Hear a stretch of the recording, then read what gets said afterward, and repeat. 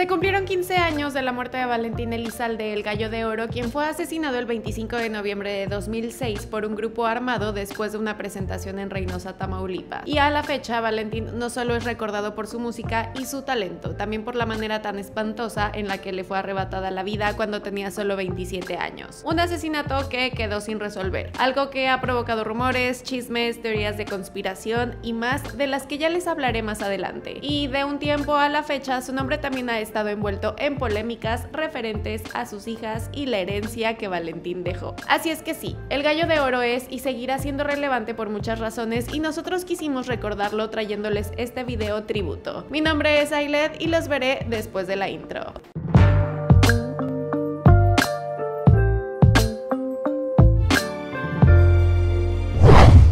Valentín Elizalde Valencia nació el 1 de febrero de 1979 en Jitón Hueca, situado en el municipio de Chojoa, en Sonora. Su papá era Everardo Elizalde, cantante de corridos, quien ganó cierto reconocimiento en los años 70, y su madre es Camila Valencia. Everardo y Camila tuvieron cuatro hijos, Jesús, Valentín, Livia y Francisco. Pero Valentín siempre destacó gracias a su carisma y talento. Desde chiquito supo que quería ser cantante y dicen que iba por la calle cantando y cobrando un peso por canción cantada. Cuando tenía 7 años acompañaba a su papá Everardo a sus presentaciones y mientras su papá cantaba, él y su hermano Jesús recorrían el lugar vendiendo los cassettes o discos de Everardo y este tipo de experiencias hicieron que se empezara a interesar aún más en el mundo artístico. Pero cuando Valentín tenía solo 13 años, sufre la pérdida de su padre, quien murió en un accidente automovilístico cuando regresaba de una presentación en Villa Juárez, Sonora, el 23 de noviembre de 1992. Cuando Everardo murió, Camila debió luchar para sacar adelante a sus cuatro hijos y comenzaron a tener cuando Valentín se dio cuenta de la situación familiar en la que se encontraban, sintió que tenía que poner su granito de arena y empezó a trabajar en el campo para llevar un poquito más de dinero a su casa. Y cuando estaba en la preparatoria, Valentín cantaba con sus hermanos en bares, cantinas y discotecas. Juan Diego J fue quien comenzó a impulsar la carrera de Valentín en los años 90 y poco a poco fue abriendo camino en la industria. Cuando tenía 19 años, se casó con su novia Gabriela Sabac, también de 19 años. Y en ese momento el ballet tenía mucho en su plato. Era esposo, cantaba por las noches y los fines de semana y entre semana estudiaba. Y no estudiaba cualquier carrera, ¿eh? No, no, no. El hombre estaba estudiando Derecho en la Universidad de Navojoa, Sonora, y aunque nunca se dedicó a litigar, sí declaró que estudió Derecho con la idea de que tener una carrera siempre es necesario, a pesar de que lo que realmente quería era dedicarse a cantar. Pero también lo hizo porque quería romper con la imagen de que los artistas o cantantes muchas veces no son personas preparadas. Valentín se hizo llamar el gallo de oro en honor a su padre y buscaba la manera de conseguir presentaciones. Se metía a fiestas, 15 años, bodas, ferias y donde le permitieran cantar hasta que un día se encontró con Pedro Rivera, el padre y representante de Lupillo y mi Rivera. Con don Pedro Rivera en su esquina, su carrera empezó a despegar y en 1998 sacó su primer álbum Amor que muere. Y aunque este no tuvo el éxito esperado, Valentín sacaría un disco por año. Amigos, este hombre estaba bien comprometido con su pasión a la música. En el 2000 nace su primogénita Gabriela con su hasta ese momento esposa Gabriela Saba. Además de Gabriela, Valentín tuvo otras dos hijas, Valeria con Vianey Durán y la más pequeña de las tres, Valentina, de la relación que tenía con Azucena Rincón. Y sí, les hablaré un poco más de las hijas de Valentín en un momento, pero ahorita regresemos a su historia. Pedro Rivera fue productor de Valentín hasta el 2001. En 2002 firmó contrato de exclusividad con Universal Music y ese mismo año sacó el disco Y se parece a ti, con el cual empezó a ser notado en Estados Unidos. En 2002 saca Mi Satisfacción y el tema Vete ya se volvió una de sus canciones más populares. Pero no fue hasta el 2006 con su álbum Vencedor el que lo catapultó como uno de los cantantes del género regional mexicano más importantes. Y es que este disco tenía los éxitos Te quiero así, Como me duele, Vencedor y A mis enemigos. Y este tema de A mis enemigos en particular es muy polémico porque muchas personas lo atribuyen como el corrido por el cual asesinaron al cantante porque el 24 de noviembre, horas antes de que lo asesinaran, Valentín abrió su concierto con este corrido, cosa que no hacía muy seguido. Entonces esto se volvió parte de una de las teorías de conspiración que hay en torno a su asesinato, de las que también les hablaré en un momento. Valentín se presentó en la Expoferia de Reynosa, Tamaulipas. El palenque estuvo lleno y salió del lugar alrededor de las 3.30 am, solamente acompañado por su chofer, Reinaldo Ballesteros, su representante Mario Mendoza Grajeda y su primo Tano Elizalde. Se subieron a la camioneta y segundos después dos coches los alcanzaron. Le cerraron el paso y tres sujetos abrieron fuego contra la camioneta disparando más de 75 detonaciones, muchas de las cuales impactaron en el cuerpo del gallo de oro, quien lamentablemente falleció en el lugar a los 27 años de edad. El único sobreviviente de este atentado fue Tano Elizalde, a pesar de haber recibido siete impactos de bala. La noticia del asesinato de Valentín se dio a conocer en todos los medios de comunicación del país y de Estados Unidos, indignando al medio artístico y a la comunidad en general, haciendo que varios cantantes de música regional mexicana cancelaran presentaciones y o aumentaran su seguridad en sus conciertos. Valentín fue sepultado tres días después en el Panteón Municipal de Guasave, en Sinaloa, después de que un cortejo de aproximadamente 20.000 personas siguieron la carroza fúnebre. Hubo un disco que Valentín había comenzado a grabar pero no terminaría, pero Universal arreglaría los últimos detalles y lo lanzó en 2007 con el nombre Lobo Domesticado, y este fue uno de los más vendidos. Como lo dije desde el principio, hay muchos rumores y teorías en torno a la muerte de Valentín Elizalde, y es que es un asesinato que realmente no se ha esclarecido 100%,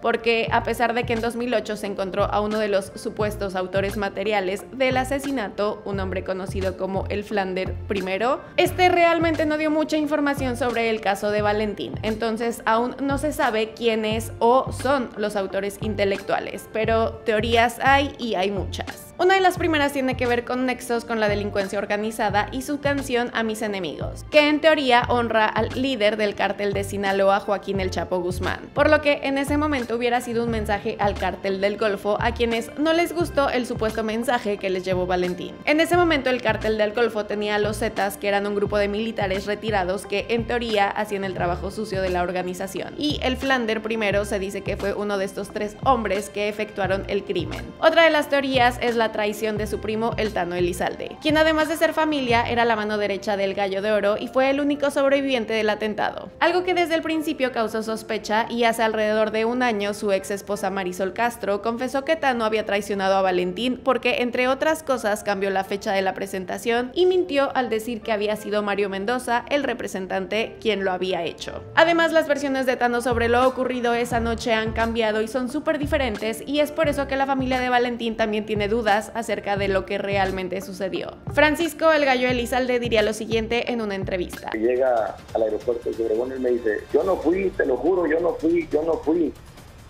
Y eso nunca se me olvida. ¿Por qué decirme, yo no fui si claro. tú no fuiste? Y para hacer las cosas aún más dramáticas, en 2020 Tano empezó una relación con quien fuera la única esposa de Valentín Elizalde, la señora Gabriela Sabag. Y unos meses después se comprometerían. Y miren, dicen que Tano le tenía mucha envidia a Vale en vida y que siempre quiso ser como él y no hace que sea menos fácil de pensar eso casándose con la ex de su primo hermano, la verdad. Y también hace ruido el hecho de que haya terminado quedándose justo con la ex que resulta que es la albacea de todo lo que tiene que ver con el gallo de oro. Pero en fin, otra de las versiones tiene que ver con que fue a causa de una mujer, pero no hay más información al respecto de esta teoría. Lo que sí sabemos es que al momento de su muerte Valentín estaba comprometido con Natalie Fernández, quien años después se casaría con otro cantante de música regional mexicana, nada más y nada menos que Julián Álvarez. Y hablando de sus hijas, Gabriela es quien mantiene un perfil más bajo en redes sociales. Valeria es la hija que el gallo de oro tuvo con y Durán, a quien lamentablemente también asesinaron en 2016. Valeria se ha enfocado más en su rol como youtuber e influencer en redes sociales como Instagram, en donde tiene 143 mil seguidores. Y Valentina Elizalde, quien es la hija menor del cantante, a quien tuvo con Azucena Rincón, se ha enfocado más en una carrera como cantante y ha sorprendido con su voz, lo que la ha llevado a colaborar con bandas como La Adictiva y El Potro de Sinaloa y tiene más de 150 mil seguidores en Instagram. Pero aparentemente no todo está bien entre las hermanas. Gabriela y Valeria, las hijas mayores de Valentín, demandaron a su abuela, doña Camila Valencia, por las propiedades y el dinero de El Gallo de Oro. En una entrevista aseguraron que le han pedido a la familia de su padre que les den parte de la herencia que les corresponde, pero no habían obtenido respuesta. Además, también dijeron que la familia de su papá ha vendido propiedades del cantante sin tomarlas en cuenta y también declararon que su abuela las quería separar parar y poner en contra la una con la otra. Mi tío Francisco El Gallo Elizalde comentó que él ya estaba en un avance sobre una serie Mientras tanto, a nosotras no nos ha tomado en cuenta en lo absoluto. Valentina, la hija menor del cantante, declaró lo siguiente. Ya nos dieron lo que le tocaba a cada una y ya no hay nada más por repartir. Pues a cada una se le dio una casa, a Gabriela se le dio algo más que a, la, a nosotras, familia Valeria, cierta joyería de mi papá, Em, alguna ropa de él, fotografía, y por las regalías que nos llegan cada mes. Y bueno, hasta el momento de esta grabación así estaban las cosas. Se ha hablado de series biográficas del cantante, pero todavía no se ve para cuándo pueda haber algo concreto con alguna de estas ideas que tienen en mente. Y pues miren, al final de cuentas creo que sería más bonito que el nombre de El Vale estuviera en tendencia por todo su talento y por la música que nos dejó, y no tanto por los dramas familiares y dinero que hay en su familia. Y bueno, con eso voy a terminar este video, no sin antes decir que yo era, soy y sigo siendo fan del Gallo de Oro, y ojalá a pesar de todo sí esté descansando en paz, porque de verdad era un tipazo. Siéntanse libres de dejar sus pensamientos en la parte de los comentarios, por lo pronto yo me despido, pero los veré en otro video. Les mando muchos besos y saludos a todos y nos vemos pronto. Bye!